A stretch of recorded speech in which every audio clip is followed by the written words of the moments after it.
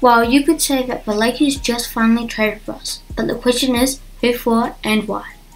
This trade was a free time in trade. The Lakers are sending Russell Westbrook, Jonathan Anderson, Damian Jones, and their 2027 first round pick. ESPN and The Athletic first reported the trade. Those outlets also said Minnesota is getting Mike Conley and Nicola Alexander Walker from Utah, along with three second round picks, and the Lakers getting D'Angelo Russell and others.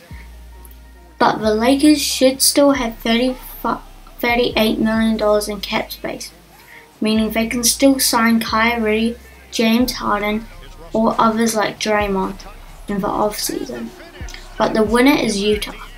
They have Russ, Lauri Markkanen, and 15 picks tied with the OKC Thunder, and with that they can get a superstar to make them a championship contender.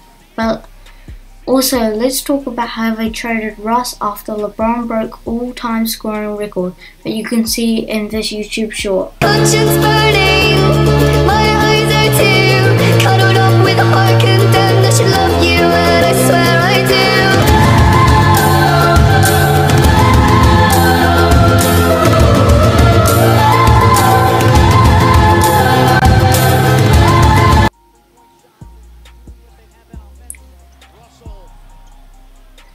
Now D'Lo, he has been shooting 45% from the free after Christmas and averaging 20 points. Also, we know that he can break down in the playoffs, but that's where LeBron and AD can cover, meaning this trade gave the Lakers depth to their lineup up so they can be contenders now, but but also you can check my video out on Kyrie Irving trade video right here.